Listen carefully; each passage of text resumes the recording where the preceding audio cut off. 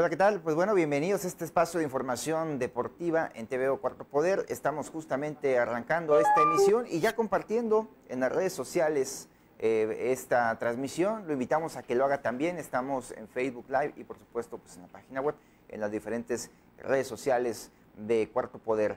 Eh, feliz inicio de semana, ante todo, un eh, lunes que promete y un fin de semana que fue bastante movidito, bastante cargado de eventos deportivos y por supuesto pues aquí tendremos el detalle de todo esto, más lo que aconteció en el fútbol nacional con la liguilla, con las finales que se están disputando tanto en eh, mujeres como en el ascenso MX y hoy por cierto se dio también pues el arranque digamos ya eh, formal de cafetaleros hacia el siguiente ciclo con un periodo de visorías, aunque el equipo todavía se reportará a finales de esta semana en forma. Pero si les parece, vamos a dar inicio ya con eh, lo que tenemos preparado para el programa de este lunes. Hubo actividad importante en la capital de chiapaneca el domingo en el Parque del Oriente. Este bonito escenario recibió un evento deportivo que además tuvo una noble causa. Vamos a ver la información. Con gran entusiasmo y energía, deportistas de todas las edades participaron en la segunda edición del Juguetón, evento que fusionó las pruebas de natación y de atletismo, el cual fue promovido por el Instituto del Deporte Tuxleco, teniendo como escenario las instalaciones del Parque del Oriente en la capital chiapaneca. Bajo el emanada Corre Regala, cientos de personas se congregaron en las instalaciones del parque deportivo desde temprana hora del domingo, a fin de realizar los últimos registros y depositar en las urnas su donativo en juguetes, lo con lo cual obtuvieron a cambio su inscripción al evento.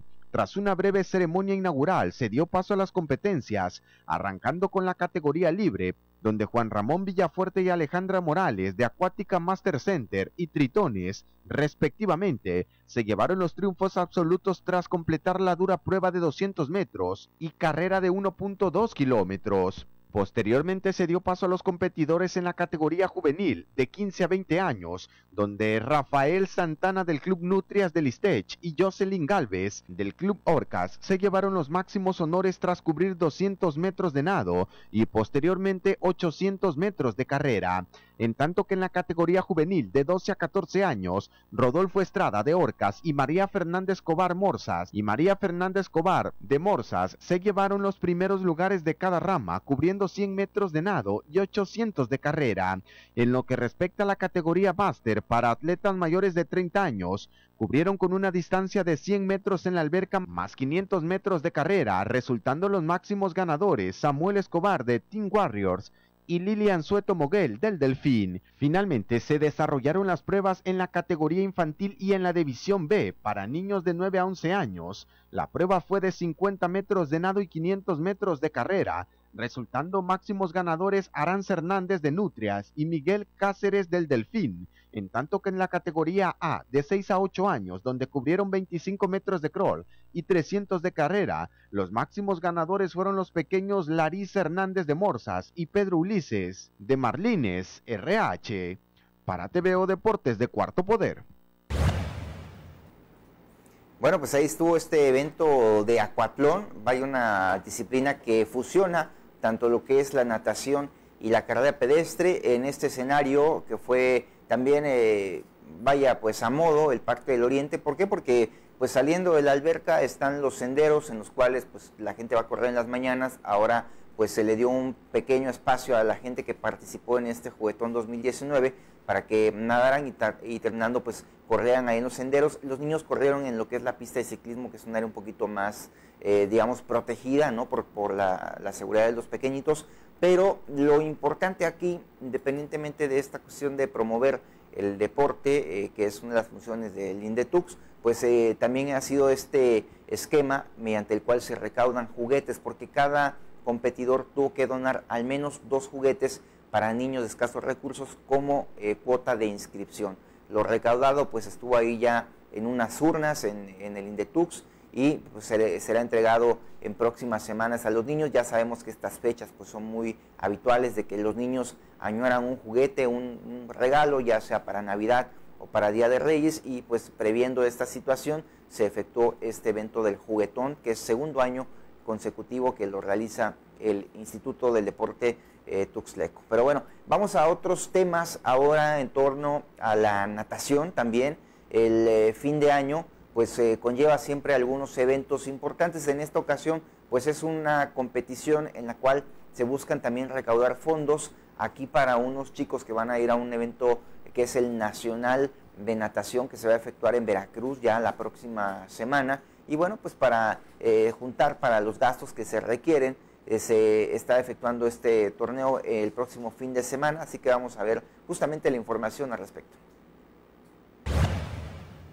Diciembre vendrá cargado de mucha actividad para la Acuática Master Center y es que el club capitalino alista todo para tirar la casa por la ventana en lo que será el torneo de invierno Carlos Alonso Cruz y por otro lado dará continuidad al trabajo de preparación rumbo a lo que será el Campeonato Nacional Curso Corto celebrado en Veracruz. En lo que se refiere al certamen local será el próximo sábado 7 de diciembre cuando nadadores de todas las edades tendrán actividad en la alberca de dicha institución, mismo que estará dando comienzo durante las primeras horas de ese día. Pese a ser un certamen de carácter local, el evento servirá para continuar fogueando a los representantes de la asociación, que del 12 al 18 del mes ya en curso representarán no solamente a su institución, sino también al Estado en el campeonato veracruzano. Integrantes como Camila Rodríguez Uriano, el estandarte hoy en día en Acuática Master Center será una de las nadadoras que estarán en las competencias. Junto a ella estarán María Fernando Flores, Valeria Lara, Romeo Mesa Laguna y José Miguel Nanguyasmú, quienes en las eliminatoria estatal terminaron como campeones.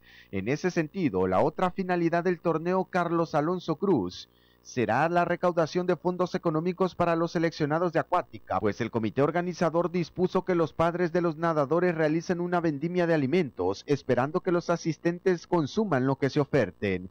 Finalmente, es oportuno señalar que el Campeonato Nacional Curso Corto se realizará en la alberca Reyes de Reforma, en la heroica ciudad naval de Veracruz, donde los mejores exponentes de todo el país harán acto de presencia por el cierre a nivel nacional y en la antesala para futuras convocatorias a selección mexicana y miras a Juegos Olímpicos 2020.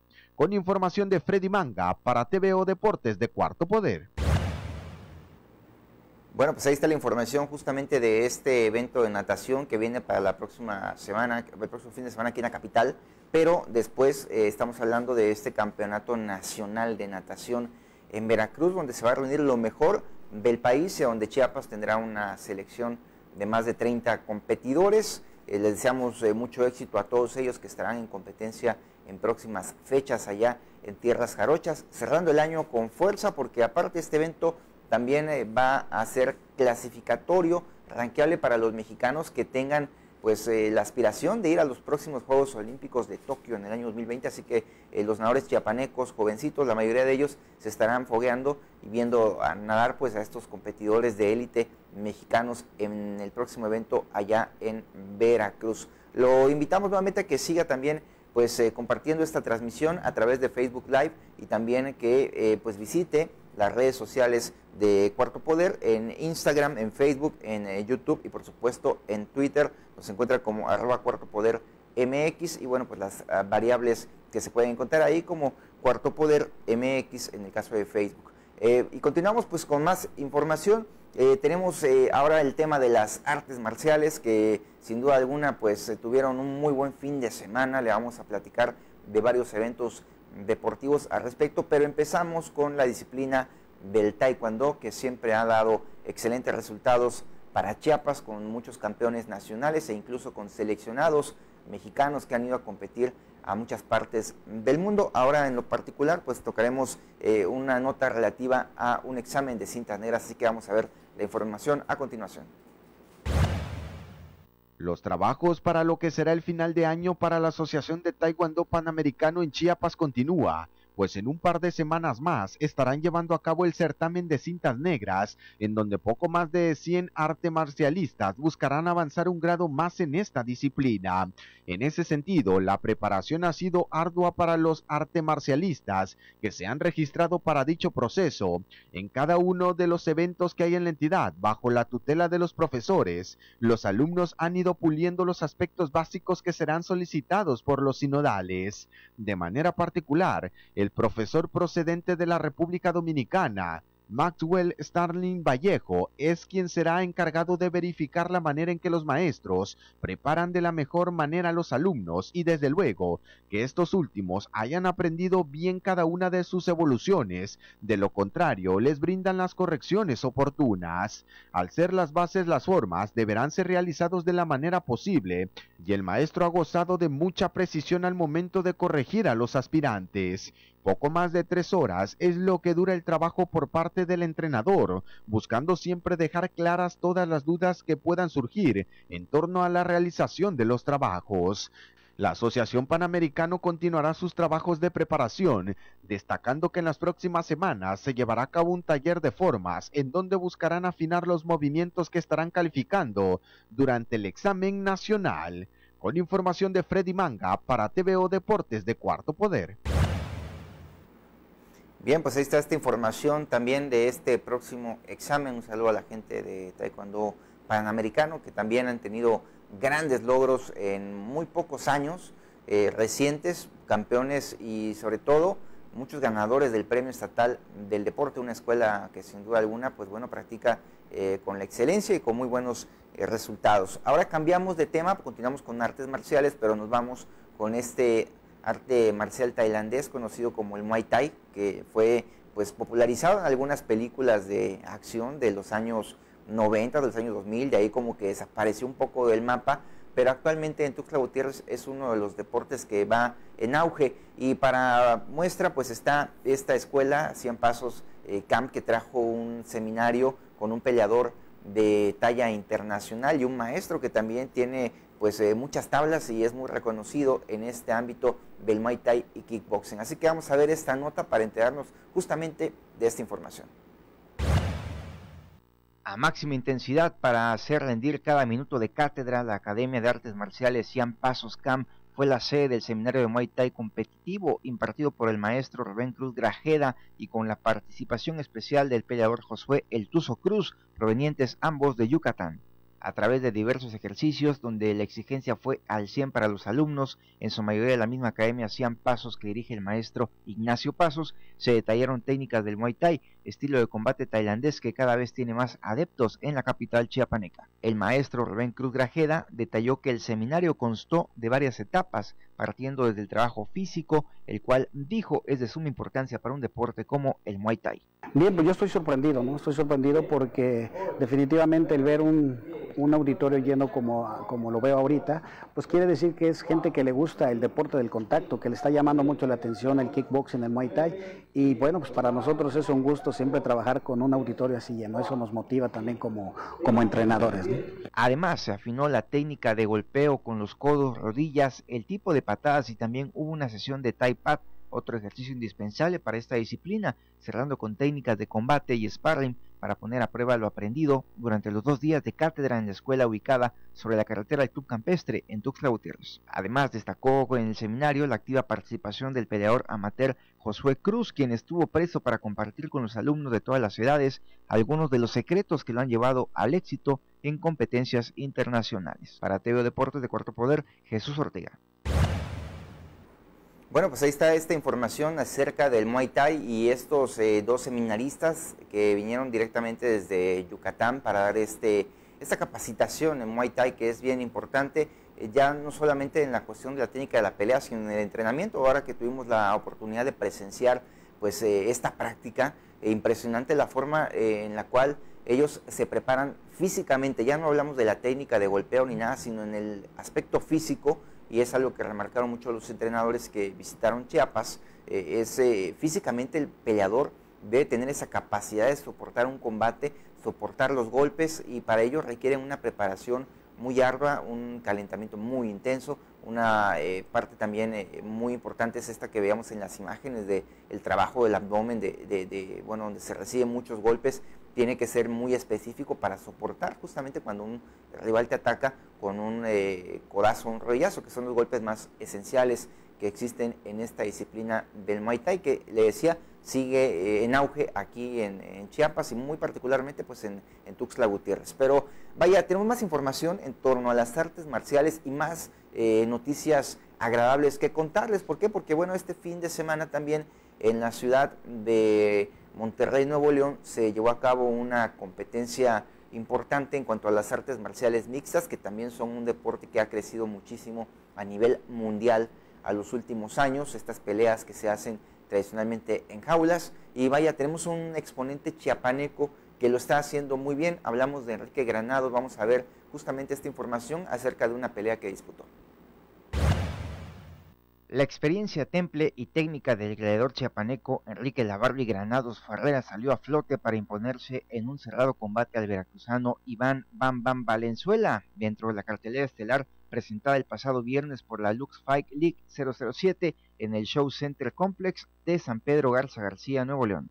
El atleta de 34 años y con más de 30 peleas de MMA disputadas, muchas de ellas en Centro y Sudamérica, participó en la Liga de Artes Marciales Mixtas más exclusiva de Latinoamérica, derrotando en la segunda pelea de la cartelera estelar al joven y espigado peleador jarocho Bam Valenzuela, quien ante el chiapaneco vio cortado el buen inicio de su carrera con su primera derrota en cuatro peleas disputadas.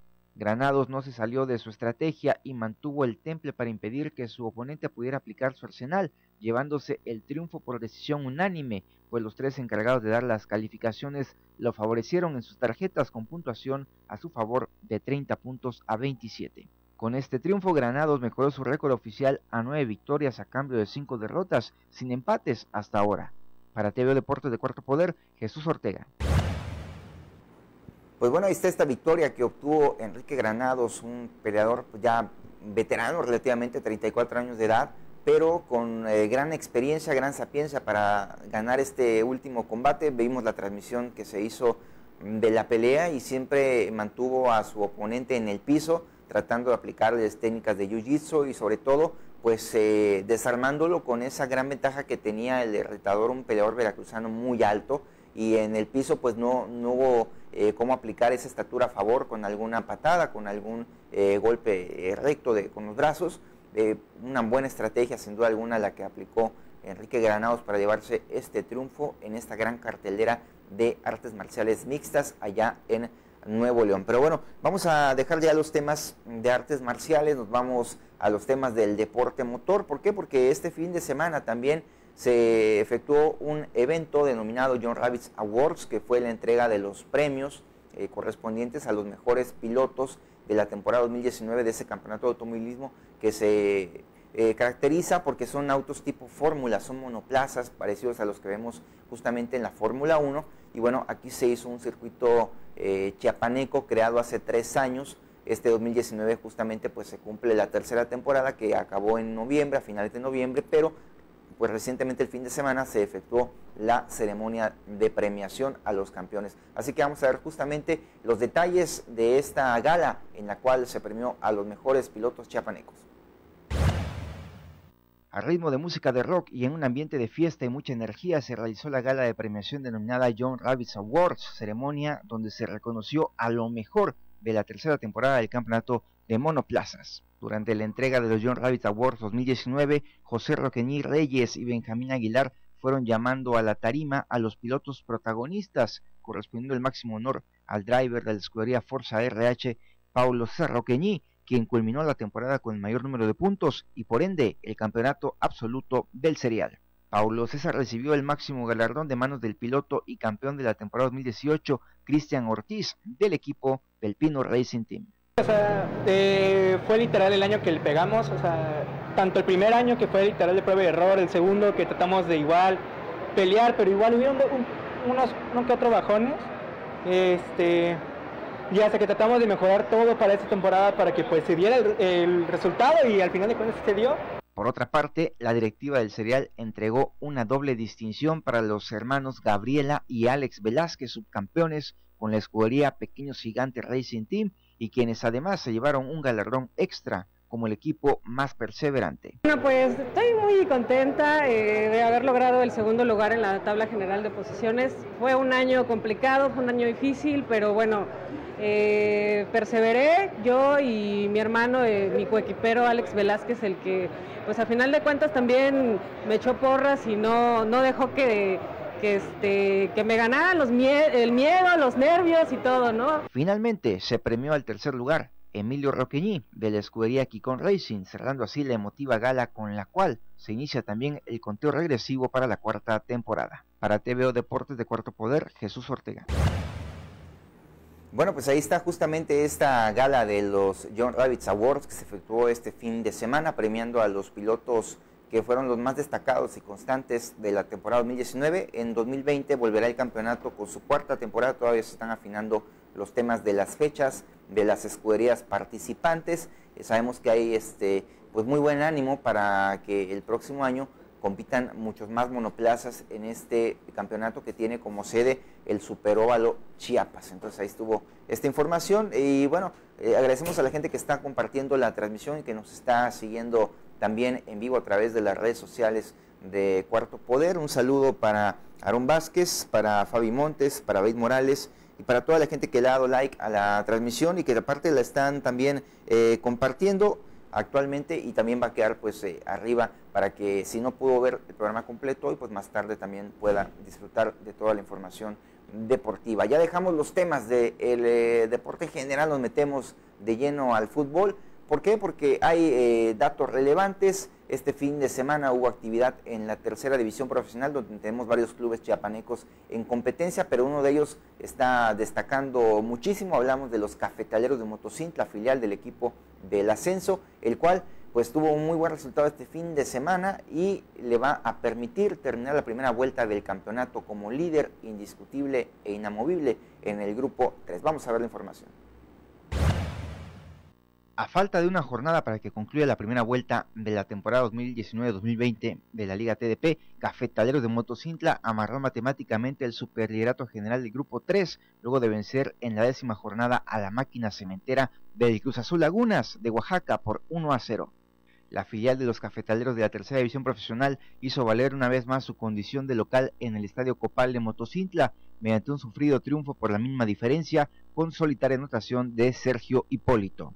El juego se tornó mucho más táctico de lo esperado en el primer tiempo, pero la estrategia tuvo que cambiar para Cruz Azul Lagunas, que arrancó el partido metido en propio medio campo, sin arriesgar de más ante los chiapanecos y planteando su fútbol al contragolpe.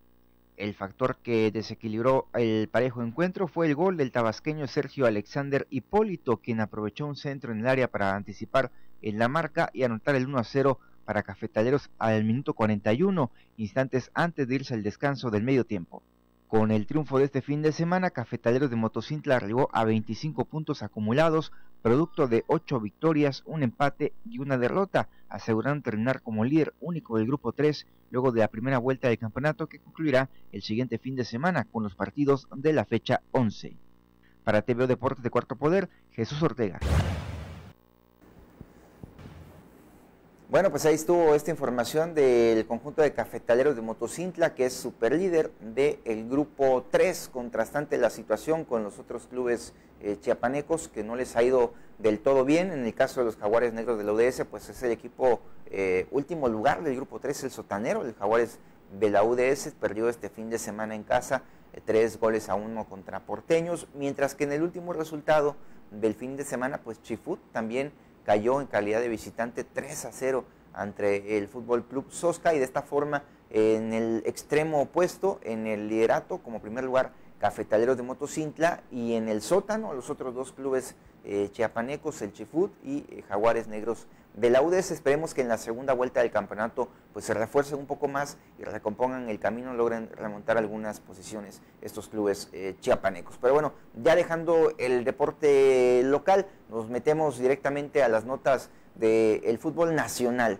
Se está disputando pues ya lo que son las finales, tanto en eh, la Liga MX femenil como en el ascenso. En el ascenso justamente Alebrijes dio la gran sorpresa al ganar en calidad de visitante al conjunto del Zacatepec por marcador de tres goles a uno. Un triunfo pues eh, muy importante para el conjunto de los Alebrijes que está muy cerca de quedarse con el campeonato. En aquel encuentro prácticamente en cinco minutos ya tenían 2 a 0 abajo al Zacatepec que se vio sorprendido por la fiereza de este conjunto de Alebrijes que mm, vaya habría que hacer mención este equipo pues si ya queda campeón estará esperando el próximo semestre al equipo que quedará campeón para buscar la final del ascenso. Si en dado caso de que ellos no repiten, tendrían el boleto directo. Pero hay que recordar que hace dos años la final del, del ascenso, que no fue permitido por la cuestión de la certificación, fue justamente Alebrijes contra Cafetaleros. Entonces, eh, por ahí pudiera darse una revisión de la final en caso de que Alebrijes quede campeón y Cafetaleros pues consiga ese objetivo que se han eh, planteado y que han públicamente manifestado, que es buscar justamente subir al máximo circuito. Ahí está entonces Alebrijes 3-1 a Zacatepec. La vuelta se va a jugar hasta el próximo viernes.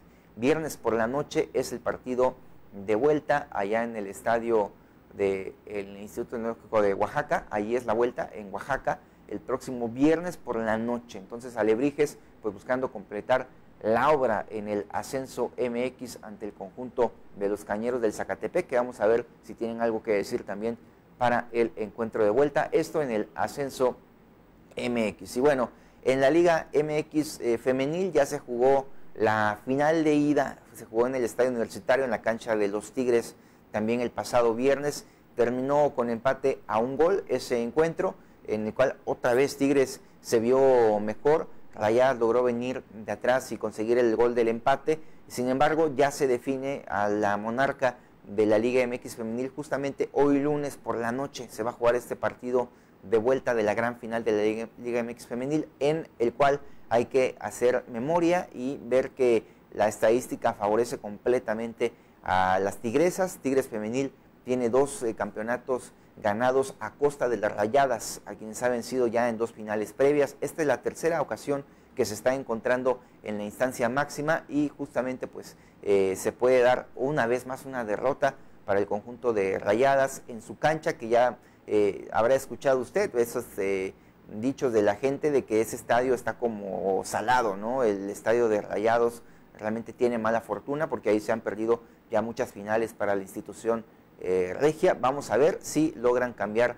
esa suerte de las chicas de Rayas, que aparte fueron el mejor equipo en la temporada regular, tendría más merecimientos en teoría para ser campeonas, pero pues es una final y en una final puede pasar cualquier cosa. Entonces hoy conoceremos al equipo campeón en la Liga MX femenil. Y ya pasando por último a los temas de la Liga MX, pues se jugaron los partidos de vuelta de los cuartos eh, de final, ya se definieron lo que son las series. Eh, vaya, eh, Monarcas Morelia con esta gran sorpresa ganando en calidad de visitante dos goles a uno al conjunto de León. León estuvo muy cerca de llevarse el, triunfo. Recordemos que quedaron 3-3 en la ida.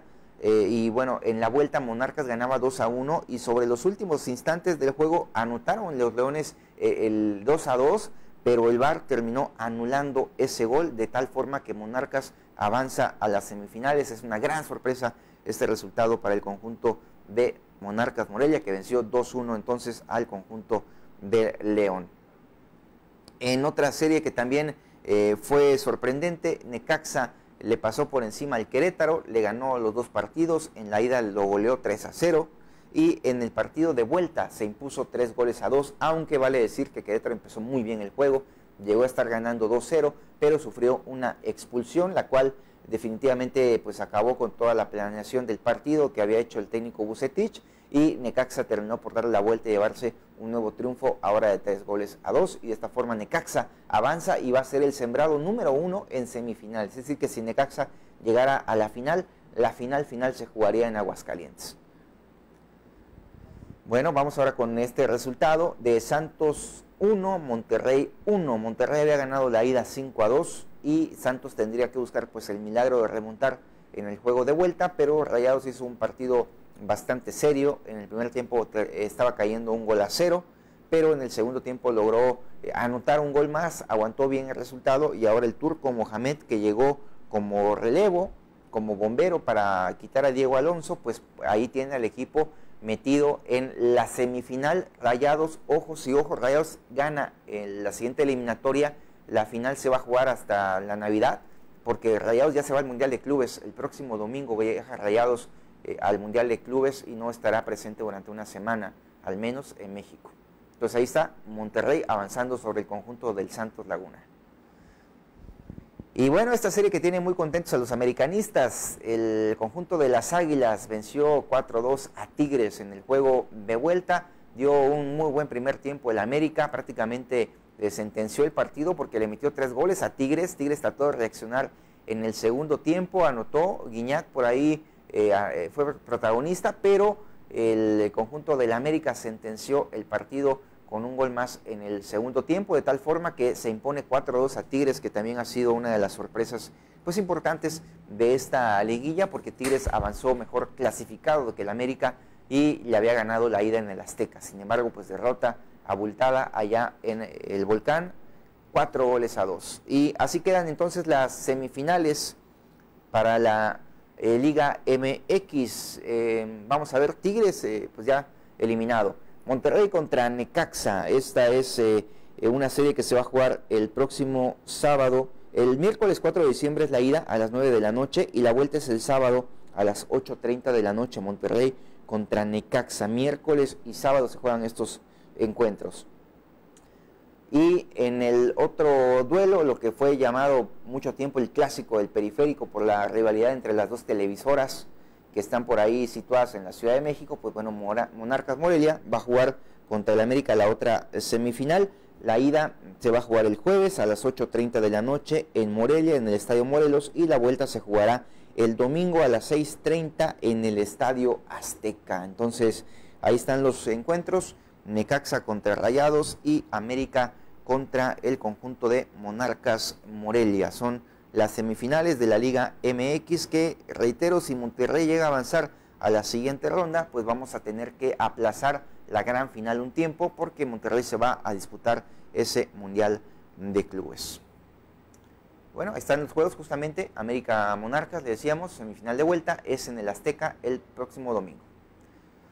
Y bueno, pues por nuestra parte prácticamente ha sido todo. Le agradecemos que haya seguido la señal de TVO Deportes de Cuarto Poder con la mejor información deportiva. Le invitamos a estar al pendiente de los espacios que tenemos informativos a través de las redes eh, sociales. Nos escuchamos y nos vemos entonces en la próxima emisión de TVO Deportes de Cuarto Poder. Hasta entonces.